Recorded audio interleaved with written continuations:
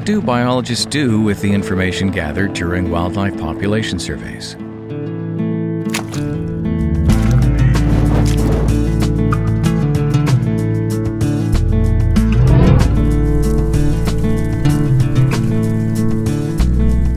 Wildlife surveys can be used for everything from environmental impact assessment for industrial permitting to measuring the effectiveness of regulations to identifying areas of habitat protection.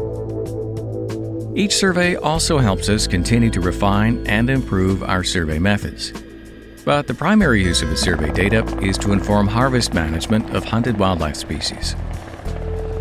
Wildlife is managed on the principle of conservation first, then meeting the sustenance and ceremonial rights of First Nations, and then licensed hunting opportunities. Data from surveys enables us to make science-based management decisions to ensure that hunting remains sustainable. We're particularly interested in overall population trends over time. Repeating surveys in the same areas over multiple years can tell us if an animal's population is stable or increasing or can alert us to declines that require further investigation. One key factor that we track is the number or ratio of males per 100 females. If there are too few males relative to females, not all the females will be bred, and there will be fewer males available to fulfill their ecological role and for hunters to harvest. For moose, we try to maintain a minimum of 30 bulls to 100 cows in areas with higher density populations and 50 bulls to 100 cows for low density populations. For caribou, a ratio of at least 35 bulls to 100 cows is considered sustainable.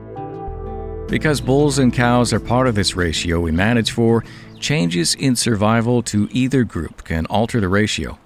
High rates of female mortality from hunting or other causes can have a negative impact on the sustainability of the population.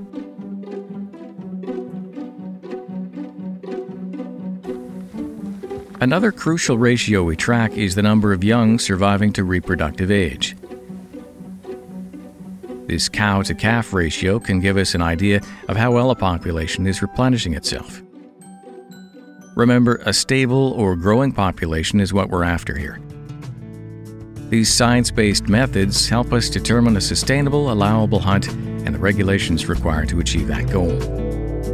By the same token, we can learn that some populations cannot sustain any hunting at all. Because each area is unique and has different challenges, there's no one size fits all management strategy.